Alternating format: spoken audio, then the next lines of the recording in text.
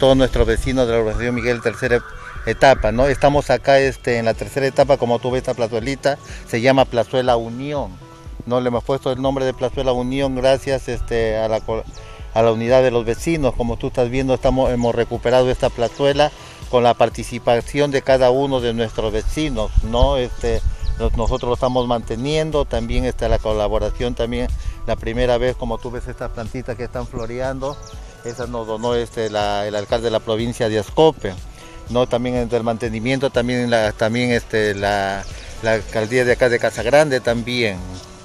Estamos viendo aquí también un cerco que se ha limpiado. Usted nos comentaba que aquí arrojaban basura en los árboles. Sí, como tú observas este arbolito que está acá donde dice prohibido arrojar basura, era un muradar y nosotros justamente con el apoyo, la colaboración de los vecinos, este, nos hemos colaborado, ¿no? Nos ha costado 80 solcitos, hemos pagado a un, a un señor para que pueda, ¿no? Aparte de eso, nosotros el día de hace tres días más o menos, como tú ves, hemos sembrado plantitas que nos ha apoyado la, este, el servicio comunal de acá de Casa Grande, ¿no? de la licenciada Elsie Miranda y sus colaboradores, hemos sembrado cotos, hemos sembrado y por acá también dentro de la plazolita también hay cotos, ¿no? y hemos coordinado hoy día también que transcursos eh, para pasado mañana nos van a enviar más plantas, así para poder recuperar, ¿no? y gracias también a la colaboración y al apoyo de cada uno de nuestros vecinos, como tú ves, esta plazolita pertenece a la letra A, B, C y F.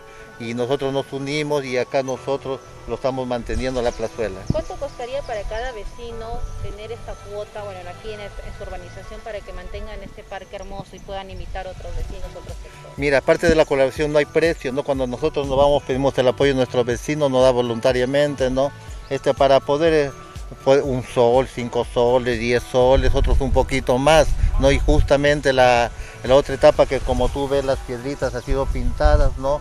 Y ya nos hemos puesto de acuerdo con los vecinos, vamos a comprar este, pintura de aceite para que se pueda mantener más largo, ¿no? Y hemos pedido el apoyo de la de servicios comunales con, de la doctora Daisy Miranda, creo que está a cargo, para que ellos nos puedan apoyar con nuestra mano de obra para poder pintar las piedritas.